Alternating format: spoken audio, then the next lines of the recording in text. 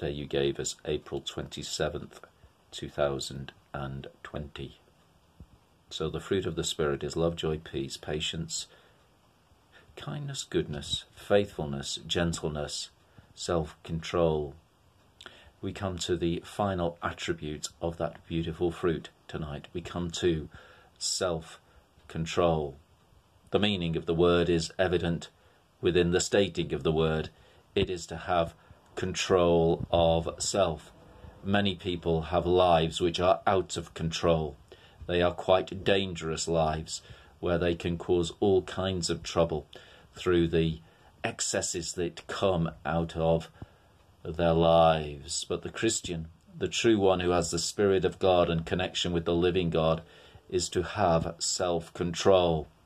It's as if when we place ourselves under God, we are properly controlled. That when self is submitted to God, then self properly controls our whole beings. It's an interesting way of these things fitting together.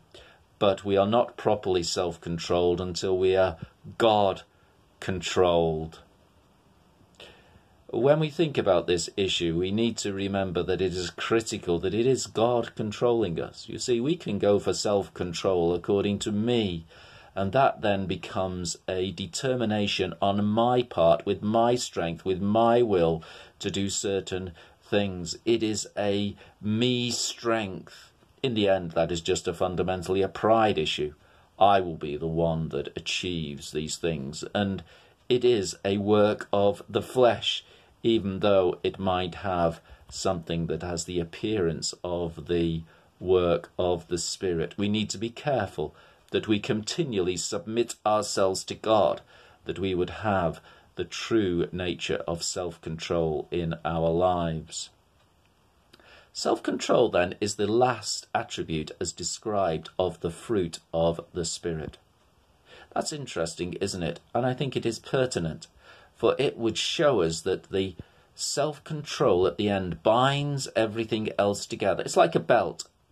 Sometimes read of it in Scripture that there is a girding up of the loins as if everything of the clothing is girded up so that the human the, the person is able to function most efficiently and the belt would bind together all of those garments so that the person can move around and so it is with self-control. It binds up all of the rest of the fruit. It ha- harmonizes them together so that the, the, so that we can live efficiently for God. Yeah, you see, we're all prone to have our uh, our ways, and with the fruit of the spirit, it could be that one of the aspects just develops in an inappropriate way beyond the others, and it ends up looking quite ugly. But self-control makes sure that doesn't happen. Make sure that everything is bound together to, to produce a, a healthy, wholesome, beautiful fruit. So, finally, with the fruit of the spirit the fruit of the Spirit is self control. Are you self controlled? Am I self controlled? We need God to be self controlled. That is the day you gave us, April 27th, 2020.